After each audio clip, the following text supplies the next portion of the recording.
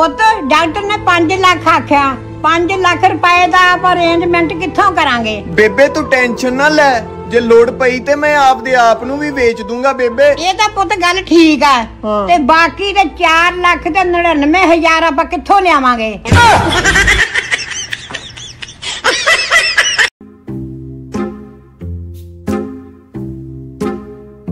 ਆ ਮੰਮੀ ਜੀ ਕਿਹੋ ਜੀ ਸਬਜ਼ੀ ਬਣਾਈ ਆ? ਨਾ ਨੂਣ ਆ ਨਾ ਮਿਰਚ ਆ।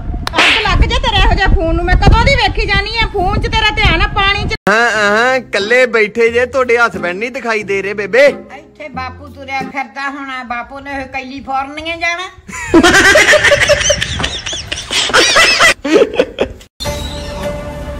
ਓਏ ਤੈਨੂੰ ਕੀ ਹੋ ਗਿਆ? ਤੂੰ ਕਿਉਂ ਇਦਾਂ ਲੰਮਾ ਪਿਆ? ਉਹ ਧਰਨ ਪੈ ਗਈ ਯਾਰ ਮੈਨੂੰ ਲੱਗਦਾ। ਚੱਲ ਆ ਫਿਰ ਸੀਪੀ ਗੱਲ ਕੋਲੇ ਚੱਲੀਏ। ਕਿਉਂ? ਤੂੰ ਉਹਦਾ ਬੇਬੇ ਤੈਨੂੰ ਪਤਾ ਅੱਜ ਇੱਕ ਕੁੜੀ ਨੇ ਮੇਰੇ ਤੋਂ ਦਿਲ ਮੰਗਿਆ। ਕਿਤੇ ਦੇ ਤਾਂ ਨਹੀਂ ਆਇਆ। ਨਾ ਨਾ ਮੈਂ ਤਾਂ ਨਾ ਕਰਤੀ ਸ਼ੁਕਰ ਆ। ਕਿਉਂ? ਅੱਜ ਉਹਨੇ ਇੱਜ਼ਤ ਤਾਂ ਦਿਲ ਮੰਗਿਆ ਤੇ ਭਾਕੇ ਉਹਨੇ ਫੇਵਰਾ ਮੰਗ ਲੈਣਾ ਸੀ।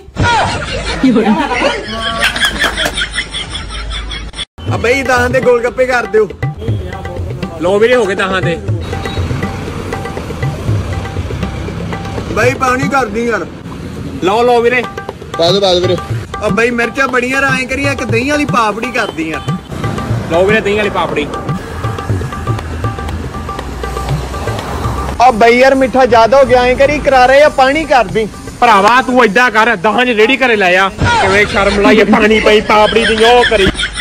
ਯਾਰ ਕੱਲ ਮੇਰੀ ਸਹੇਲੀ ਮੈਨੂੰ ਕਹਿੰਦੀ ਨਾ ਤੂੰ ਕਿਸੇ ਨੂੰ ਨਾ ਦੱਸੀ ਆਪਾਂ ਦੋ ਰਿਲੇਸ਼ਨਸ਼ਿਪ ਚ ਆ। ਅੱਛਾ। ਹੁਣ ਉਹਨੂੰ ਕਮਲੀ ਨੂੰ ਕੌਣ ਸਮਝਾਵੇ? ਸਾਲਾ ਮੇਰਾ ਤਾਂ ਵੈਸੇ ਨਹੀਂ ਕਿਸੇ ਨੂੰ ਯਕੀਨ ਕਰਦਾ।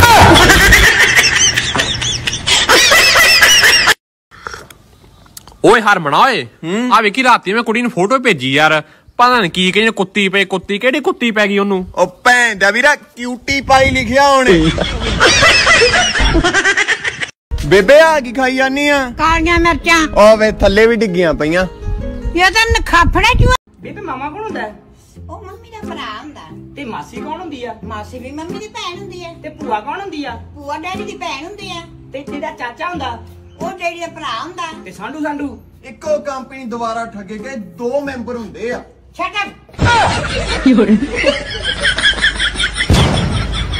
ਹਰਮਨ ਉਰੀਆ ਹਾਂ ਬੇਬੇ। ਵੇਖ ਕਿਹੜਾ ਜਾਨਵਰ ਹੈ ਇਹ? ਇਹ ਇਹ ਬੇਬੇ ਬਾਂਦਰ ਆ। ਨਖਾਫੜਾ ਜਵਾ ਤੇਰੇ ਤੇ ਗਿਆ